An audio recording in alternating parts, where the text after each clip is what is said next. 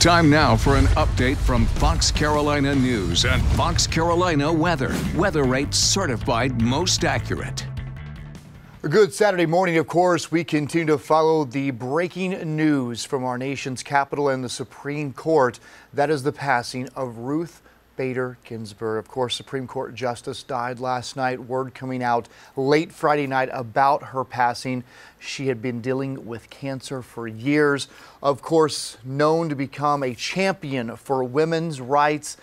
And at foxcarolina.com, we will have continuing coverage throughout the weekend, of course, as plans are made for her memorial, her funeral. I'm sure there will be a lot of plans being made in the next few days. Of course, live coverage on air as well. Uh, tonight, uh, the president, I should say this morning, the president calling her an amazing woman, and so many political figures coming out and talking just about how she has changed the whole dynamic for women and women's rights. And she's one of those figures that no matter if you're a Republican or if you're a Democrat, uh, she paved the way for so many and just a huge loss for our country and a huge loss for the Supreme Court. All of them a very close knit family, no matter how they feel about one another.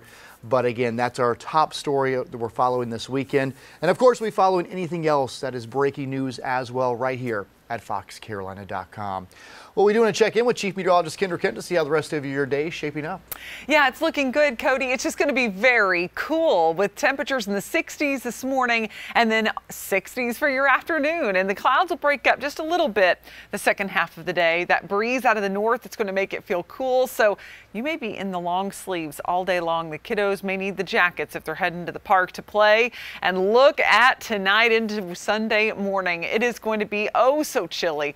40s in the upstate, 50s in the, uh, or excuse me, 50s and 40s in the upstate, but all 40s across the mountain. So uh, it will have a definite fall feel and this will help spur along that fall color.